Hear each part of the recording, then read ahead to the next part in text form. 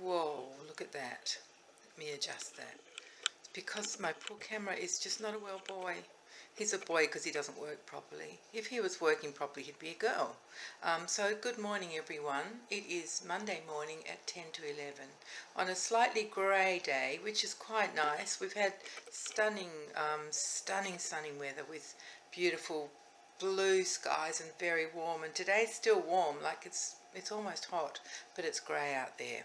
Anyway, I'm struggling with my camera, and it's only giving me nine minutes to talk to you. So that always makes me feel really, I don't know, I don't feel relaxed. I'm always thinking, oh, I've got to hurry, got to hurry. And so it's a bit more complicated to talk when it's like this. But anyway, let me just forget about that for a moment and tell you who you're looking at. This is my Lottie, who I made a few years ago, and she is the Mary Ann sculpt by Natali Blick. Now that's in case you're new.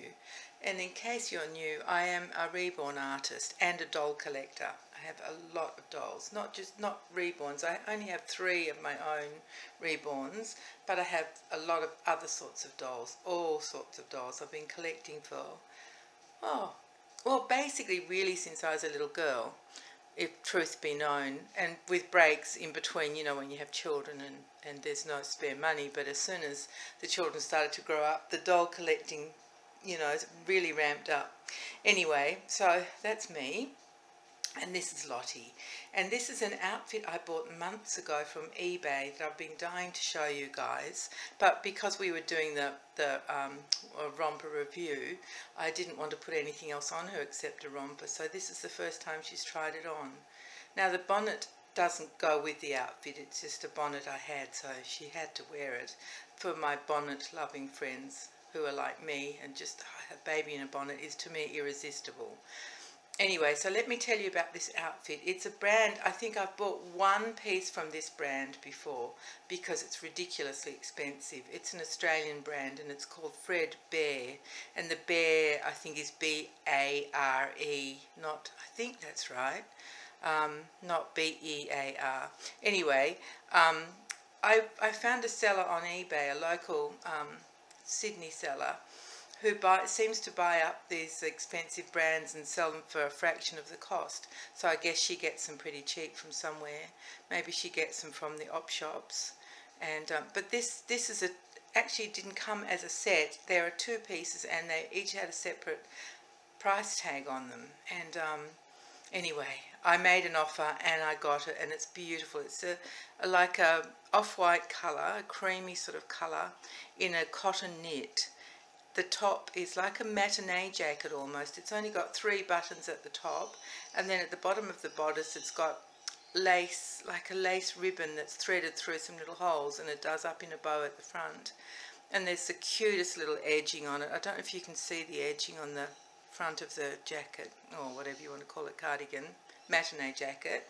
And then um, they're just the pants are plain, just with it, they have the same lace tie around the waist. So that's that. And then the bonnet is by Mebi, M-E-B-I, but I got it super cheap. You know, I, that's when I get my bonnets. When they go on super sale, I just grab them. And you know I have a lot of bonnets in this house. They don't cover the whole house. Thank goodness they're confined to one drawer and they're not allowed to leave that drawer unless the baby's wearing them. I've told them strictly they're not escaping. So because I can't actually fit any more bonnets in that drawer. And let me tell you, it's a deep drawer. Um, I probably won't be getting any more because space is always stops me from collecting more things. Because if I haven't got anywhere to put something, I'm not going to get it. Um, anyway, um, no, no, no, no. Now let me think. Because I'm under pressure, it just doesn't, it's just hard. It's really hard. So let me just tell you, the camera is ridiculous. It's got all these strange things on it that I just don't know what they are and I can't get it back to its normal setting at all. What I'm going to have to do is go on the computer and like find the the full menu, manual because the little book that I got with this camera is just doesn't have anything in it. So um, I'll have to do that, but I keep putting it, putting it off because for me that's like water torture. Oh, can't think of anything worse than trying to read through some complicated manual on the computer. And speaking of computers, it's gone stupid as well. Like all these things, I think they don't like the virus out there or something. Well, they're both boys because that's why they're not working. So when I went to try to put the photographs and the and the video that I took um, for my last video, when I tried to put that into the computer, it just, oh my goodness, it wouldn't do it. I think I made seven attempts before I tricked it into to doing it. And now I can't even bring up all the pictures that I put in there. It's just so weird. So if you're watching this, uh, it means I managed to trick my computer again. So fingers crossed after this is done that it'll work. Um, now, I want to just talk about my last video because your comments are just, were wonderful. Like, that you shared with me how you're feeling about, um, you know, being stuck at home. And I, I was just really touched and the help with knowing what to do with Instagram. That was really good. Turns out I don't have to do those scary hashtag things. But um, Laurie explained to me how they're not really scary. You just put them in. So I don't know. I'll have a go soon. I'm not quite brave enough now. At, well, not now, but yet. I will be. I'll do it because it just seems everybody seems to put lots of gorgeous, gorgeous pictures up. And sometimes, you know, when I take a picture of my babies, I think, oh, I'd love just to share this picture. Especially there are times when you just plonk them down and they just the way they land is just so perfect, so relaxed looking. Um, but anyway, so that's a little challenge. But I have other challenges in the meantime, like this camera and the computer. Now let me tell you about a fabulous day that I had yesterday. My youngest daughter came with her two children and Arnie, the beautiful Arnie came as well. And he's getting such a big brave boy. He was brave enough to run up all the way up my ramp onto my deck yesterday. He's scared of ramps because he hasn't experienced them. He knows steps because he's got some steps outside of where he lives in his home. So he's grown used to steps but the ramp was really scary, even though you would think that's so easy. But he kept only going, last time they visited, he only went up a certain distance and then he'd go back down. This time he came all the way up, and about on about the fourth time, he actually walked around on the deck and explored a bit. So that was really fun. He's just gorgeous. He's fully grown now, but he's so little and so adorable. Oh, you know, his fur looks seriously like black velvet. It is so silky, just gorgeous. I didn't take any photos of him yesterday because actually I was struggling with the most massive migraine, like it was massive. Um, oh, it seems to be gone. I don't, I never like to say it's really gone because quite often they just go boop and come back again. So I don't like to tempt fate. But at the moment it seems to be gone. So anyway, I took no photos. I just concentrated on enjoying my beautiful visitors. I made them some chocolate muffins and we just played and talked and played and talked and I loved it. Um, my daughter fixed up a couple of things around the house for me. Like I couldn't empty my shredder because the top bit where the where the shredding happens is where the motor is and it's so heavy to try and get out with one hand. I have done it before but all that happens is that I get the shredded bits of paper everywhere like it's awful. So she did that for me. She opened a few jars that were made with like chutney and jams that were made by a friend, my friend Kira and um, they one of them not even my daughter could could do until you know she just about smashed it but she didn't. She got it open.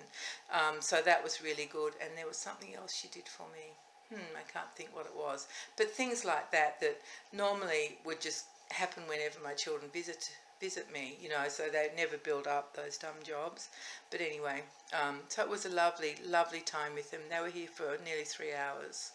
And um, and then after they left, I just did everything I had to do, like disinfect handles. And not that they, my, my little granddaughter came in to go to the loo, and so I had to disinfect a few things, just touch spots. And then, um, you know, I disinfected where my daughter had been, sort of. Um, and she brought me a coffee, which was so nice, like a takeaway coffee. Uh-oh, running out of time. I'll stop for now, and hopefully I'll be back. Right, this is I've been I've been granted another nine minutes, so that's pretty good. I don't know if I need a full nine minutes, but at least I've got it. So the other thing I wanted to tell you guys is that I changed Odette the other day. I changed her wig as well, and she's just in a lovely summer dress, and she's got socks and shoes on. I took a couple of pictures of her, so I'll add them at the end of this video. Um, it, the wig is really cute. It's got two little plaits, and it's in a, it's quite a reddish colour, like it is a, a like a redhead. My granddaughter, who has red hair, saw her and I said, look, your hair's almost, or her hair's almost the same colour as yours. But my granddaughter's hair is slightly redder than, than Odette's wig at the moment. Um, but anyway, that was fun when, when my, my granddaughter had a look at that doll, sort of a look-alike of herself in a way. Um, not her face, but certainly the hair colour. That was fun. So I actually bought that wig for Odette in three different colours. It's got that red one that you'll see. She's got a blonde one and then a brown one. And they're not, um, they're factory made by, oh, what is that company? You guys probably all know. It starts with M. Oh, for goodness sake, I hate it when things leave your head like that. The shoes are the same brand. You're all shouting at me because anybody who dresses dolls knows that brand. It's very big in like doll accessories, wigs and shoes and stuff like that. Um, it might come to me as I talk. Anyway, so I've got those three wigs, but the blonde wig that she had on last time, that fluffy kind of beautiful mohair one, I had made, I think I did tell you guys, I had made from a seller on Etsy who actually lives in Belarus, which um, you know is over in the eastern eastern countries of Europe. Um, so and that was handmade with, and she dyed the my hair for me. She gave me different choices of you know how blonde or yellow or whatever. You know there were about four or five different colours I chose from that she had prepared, and then I gave her measurements of Odette's head two measurements she needed and she made it like a, a crocheted wig cap. And then she attached the mohair to that crocheted wig cap, cap. And it's perfect. I love that wig. So that was made specially for Odette. Not for very much money. Um, you would expect it to be a lot more but it was wonderful so that's a sort of different kettle of fish to the one she's wearing now which is you know mass produced um, but still beautiful it's very silky and shiny. So I'll attach that at the end of this. Now, I wonder what else I wanted to tell you. Hmm. I wonder if that, that might be all. You might be saved any more minutes of listening to me.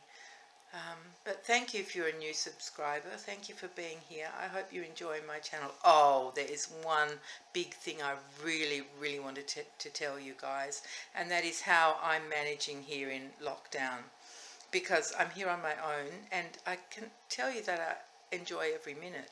The only time I get sad is like yesterday when my daughter and her her children were leaving. I I felt really sad. Like when I'm here on my own, I'm just used to it. I get on with. I've always got so many things to do. The days just whiz past, and that's something that you guys also have experienced, which I would have thought that the days would be dragging because you can't get out and do stuff. Well, I don't go out and do stuff, but the days go super fast. I never have enough time to do everything that I want to do. Um, so today I'm going to do some more hair on my beautiful little boy, Corvin. I nearly forgot his name. How bad is that? Corvin. I want to work. I couldn't do any yesterday. My head was just, oh, it was so bad. Anyway, I'll, I'll do some more on him today. So there's always a doll to be making.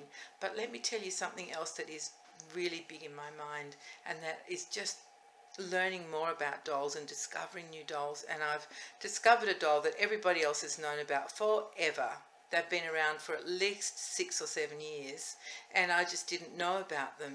And because I watch lots of doll channels, not just reborn channels, but doll channels on YouTube, I found this gorgeous type of doll and I've just fallen head over heels for it. I won't tell you because I'm determined to get one and I want it to be a surprise when it gets here. Um, I haven't ordered it because I just don't feel comfortable spending the money at this stage. Um, I'll, I'll wait a bit longer. Um, so I'm missing my family when I let myself think about that, but I try not to because um, I'm in touch with them most days. Oh, every day there's at least one child in touch one or two. When you've got four, it's a lot of kids, so that's good. Um, gives me options. There's always someone, yeah, someone checking on me.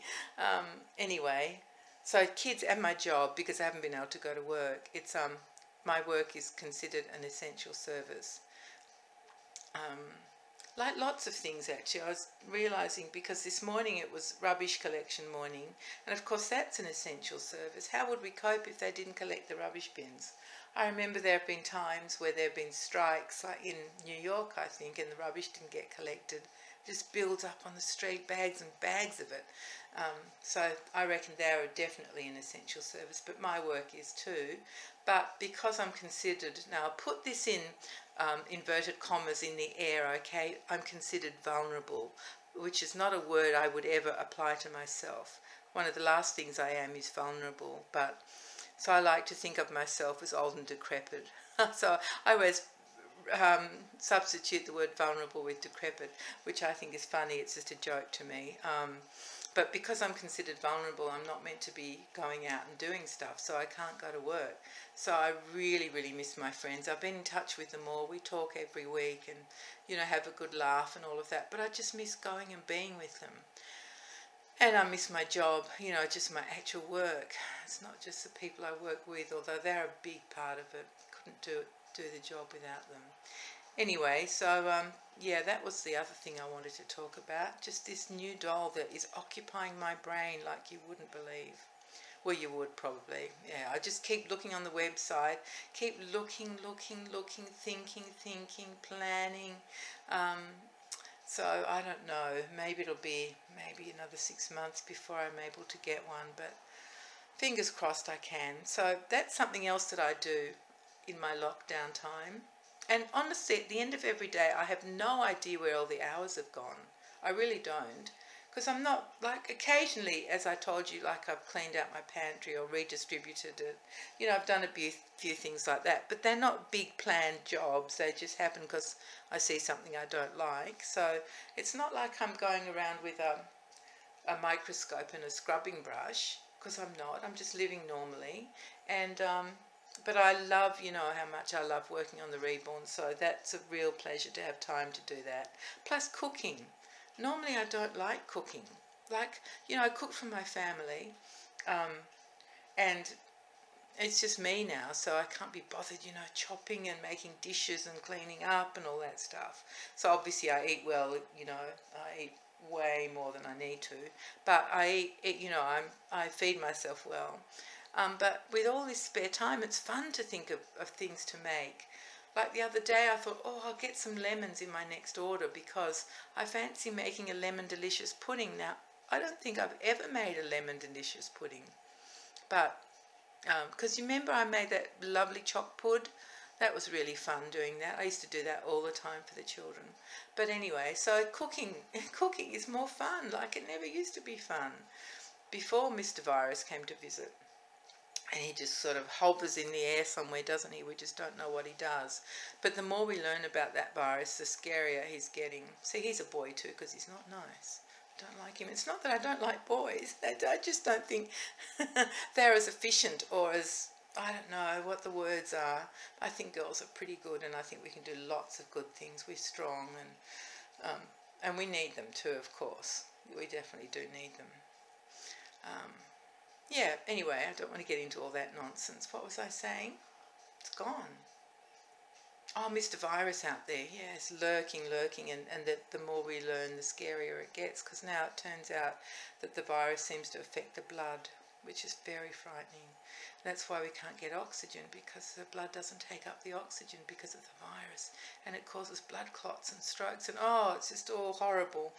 Anyway, now I'm really running out of time, so I will say goodbye to you all and thank you so much for being here. I love talking to you. I love getting your comments. So thank you, everyone. I really love you. Bye bye.